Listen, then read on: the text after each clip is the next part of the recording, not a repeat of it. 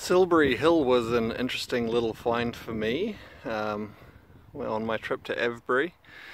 Um, I certainly didn't see it last time I was here because I approached Avebury from the other side and it seems like not that many people come out to Silbury Hill and I think there's probably a couple of reasons for that.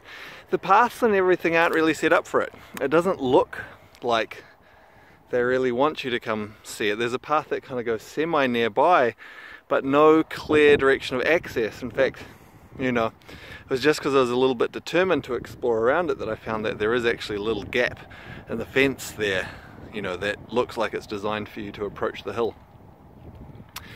And then when you get to the hill, there are signs and a fence very clearly saying not to go up um, to the top of the hill. Although, of course, uh, it looks like some people have. Um, I personally respected that and didn't go up. So, um, yeah, but an interesting little feature here. Oh, before I go further, you'll you'll have to excuse the up close and uh, personal nature of the last uh, couple of videos. I, I, forgot to take my selfie stick with me um, when I was coming out here, but hopefully you can stand the closeness of my face.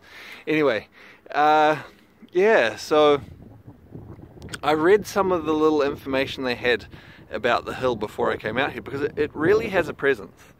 Um, as you see it coming in, I thought I really want to go and check that out and see see what I can find out there.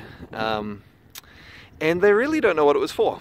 They they say that it's the largest prehistoric man-made structure in Europe.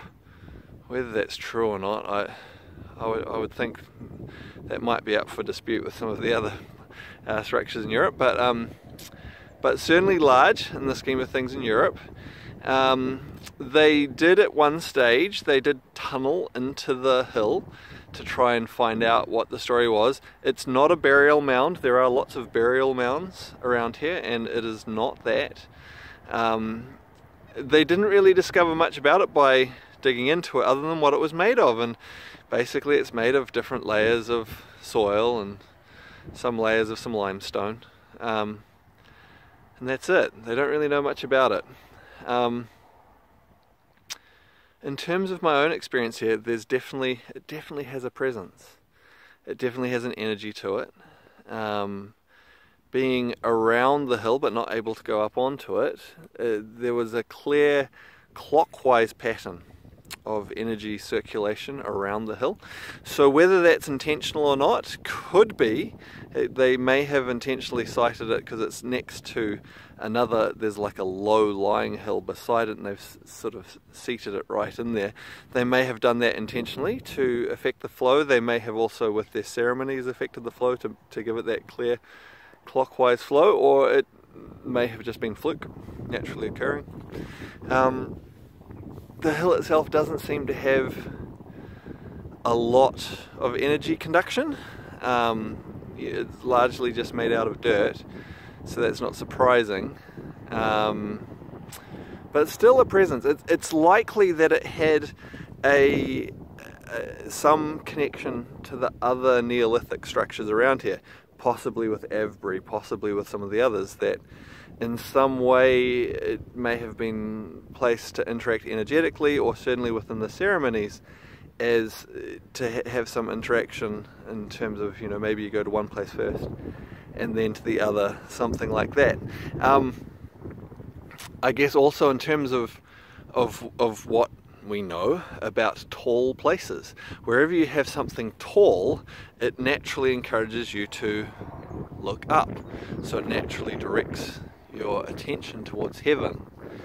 And whenever you can go up onto something that is tall, it naturally gives you an, a clarity and a perspective as you look down and you can see much further around you. So high, tall things, high places have been used for spiritual purposes, you know, I think in every culture in the world. So possibly is that part of its use? I suspect that's part of it. It's difficult though without proper access to be able to fully assess something because some some some places you're able to just by being close to them you can you can tell a lot about the energy. Others you really need to be able to go and stand and move and be where the original people would have been and moved in order to be able to interact fully with the energy and to be able to piece together what it was all about, what the what the energy of the place was about, or, and maybe still is, and how it connects to other things around it. And of course, not able to go up to the top of the hill on this one, which is it's a shame. It does affect some some sites like this. Others you have great access. You can go right through it, and you get a much better a better, better taste of things. Um, so at this stage, Silbury Hill is still a little curiosity for me. A few clues. Um, I mean, not even actually able to walk all the way around it. There's a fence that stops you from going all the way around it, which is, you know, uh, limits the energy interaction to some extent as well. But interesting to visit, interesting to to think about.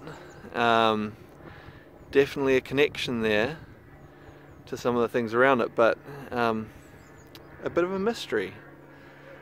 So, anyway, still fascinating and and I guess that's somehow how sometimes how it is when you visit different places with interesting energy. Um, sometimes things are very clear.